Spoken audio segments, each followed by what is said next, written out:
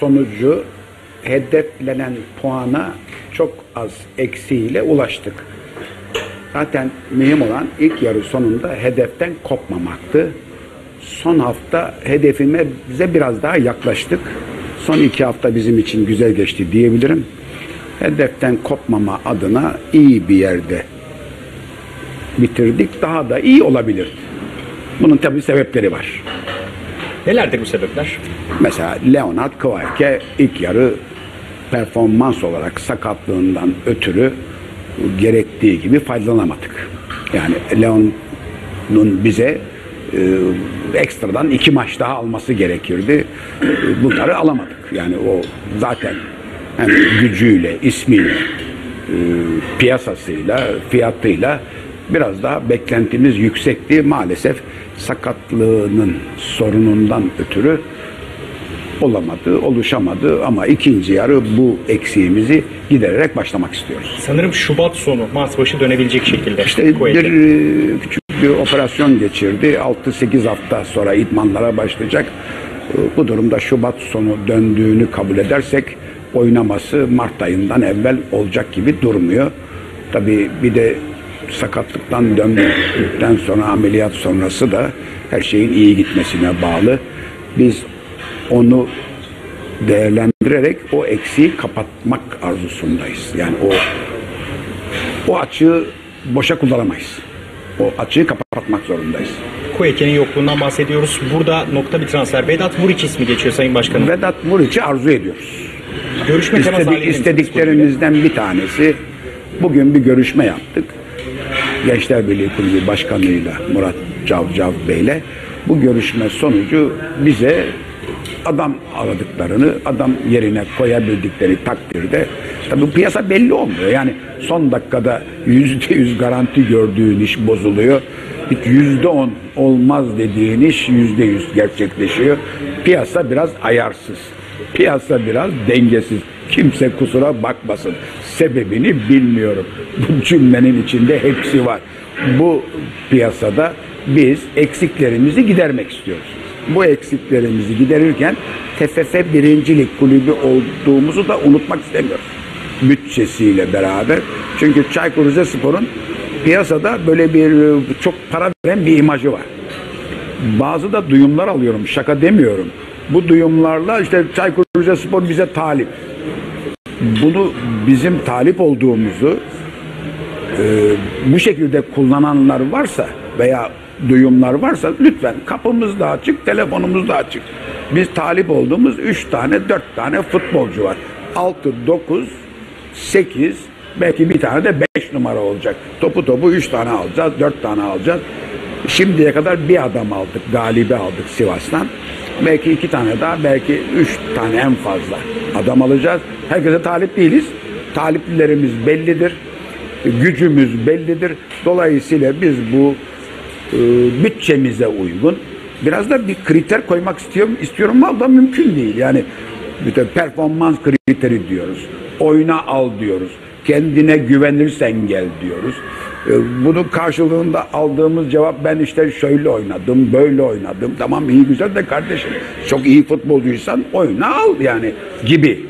Daha açık konuşmak lazım yani Türk futbolunun böyle bu tür sıkıntıları var. Menajerler çok iyi pazarlama yapıyorlar.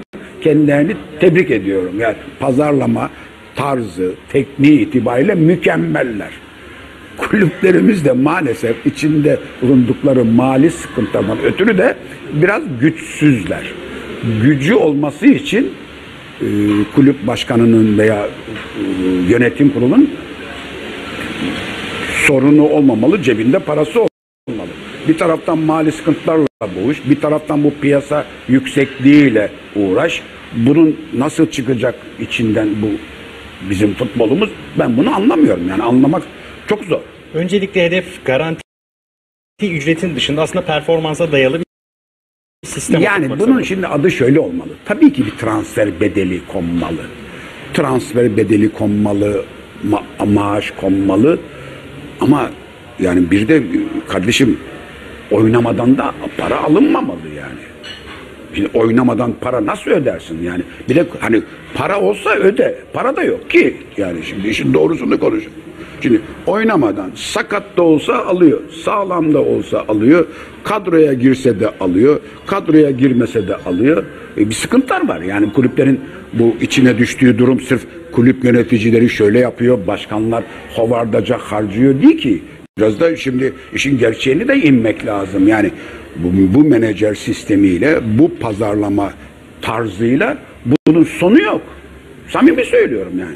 Biz şimdi Rize Spor talip olunca Süper Lig fiyatı bize çekiyorlar. Bi- Bizim haddimiz belli. Bizim rakiplerimize bir saygımız var.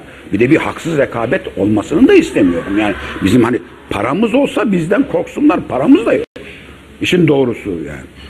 Yani şimdi para zaten biz düşmüş bir takımın parası var mı? Yani Türkiye'de Türkiye Ligi'nden düşen bir takımın zaten düşmüş. Yani orada bir sıkıntıyla boğuşuyor. Çaykur Rizespor TFF birincilik geliriyle Süper Lig masrafıyla hayatını idame ettiriyor. Biz buna rağmen bulduğumuz paralarla biz bu işi sürdürülebilir ilk yarı sonucu geldiğimiz hedef bizi başarılı olmaya kılıyor. Yani risk alacağız da alacak da bir gücümüz var. Riskinde bir ölçüsü var. Yani risk almayacağız demiyorum. Yani bundan Rize Spor'u sevenler, Rizeliler, Çaykur Rizespor taraftarı, bütün Türkiye'deki taraftarlara sesleniyor. Endişe etmesinler. Biz çıkacağız. Çıkacağız ama bu piyasaların da biraz da bu vesileyle bilinmesi lazım. Yani piyasalar çok yüksek. Zaten öyle çok büyük de bir hareket yok piyasada malumunuz. Dolayısıyla bakalım, bekleyelim, görelim. Peki Sayın Başkan transferlerden bahsederken Koeke'ye herhangi bir teklif var mı? Olursa göndermeyi düşünür müsünüz? Kıvayke'ye, Leonard Kıvayke'ye teklif şu anda elimizde ciddi ulaşmış bir teklif yok. Ameliyatından evvel menajerini çağırdı. Durumu açık açık konuştuk. Zaten şöyle de bir şeyim var, tespitim var. Bu şahsi tespitim yani. Futbolcu, menajer paylaşır paylaşmaz. Süper Lig oyuncusu TFF birinci ligi beğenmeme durumu var. Maalesef. Koeke'de böyle bir durum var mı sizce? beğenmiyor demiyorum da onun zaten mazereti var. Sakat sakat oynadı. Yani kaliteli bir oyuncu, Süper Lig'e layık bir oyuncu. Tabii psikolojik olarak ister istemez bir tesiri vardır. Buna kimse yok diyemez ama bunun yüzdesi farklıdır. Dolayısıyla ben yani günahına giremem yani.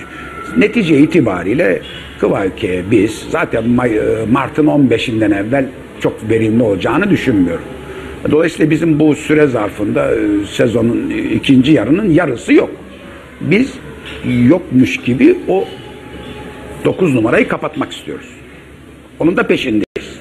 Az evvel işte ismini verdik. Ama o olur, başkası olur. Bulabileceğimiz en iyisini bulmaya çalışıyoruz. Yerli oyuncu maalesef pek fazla yok. Yabancıya da bizim bir de bir yabancı stokumuz var fazla. Evet. Yani bir, bir yabancı santrofor alsak bir yabancımızı tribüne göndereceğiz. Vermek istiyoruz, alan yok. Yani onun için bizim takımımızda da kaliteli topçular. Yani şimdi isimleri de kaliteli, piyasaları da kaliteli, bize maliyetleri de kaliteli, pahalı. Dolayısıyla biraz da yabancı stokumuzdan da eritmek istiyoruz. Eritebilirsek yabancı alacağız. Ama piyasa dengeleri içerisinde arayışımıza devam ediyoruz ve burada da samimiyiz. Öncelik Muriç. Kadarıyla Vedat. Muriç'te bir ön görüşme başkanlarıyla yaptığım için bunu söylüyorum. Ee, Bizim ikinci başkan Hasan Kartal da vardı yanımızda. Ee, Dolayısıyla bir görüşme oldu. Ama bu futbol işi belli olmaz ki. Yani Her imza atmadan ben hiçbir şeye inanmam. İki saat evvel verdiğim demeç döndü. Yani böyle de bir gerçek var futbolda. Çünkü futbolcu, menajer biraz fazla parayı buldu mu unutuyor seni yani. Hiç arkasına da bakmıyor sağ olsunlar yani. Adam bir telefon açar. Ben gidiyorum kardeşim yani. Biz öğrenmek zorunda kalıyoruz. Böyle de bir dengesizlik var. Kimse kusura bakmasın. Şimdi bu tabloda biz e, en iyisini bulmaya çalışıyoruz. Kısmet oltaya kim vurur göreceğiz. Bakalım. Hayırlısı olsun yani. Peki Sayın Başkanım çok teşekkür ederiz. Hem e, demeçleriniz için hem bizi ağırladığınız için teşekkür Ben ben teşekkür ediyorum size. Biraz da ben bile rahat konuştum. Kusura bakmayın. Yanlış yorumlanmasın. Ben biraz içimden geldiği gibi konuştum. Ee, İnşallah bu e, düzelmeler görürüm ben diyorum. Peki.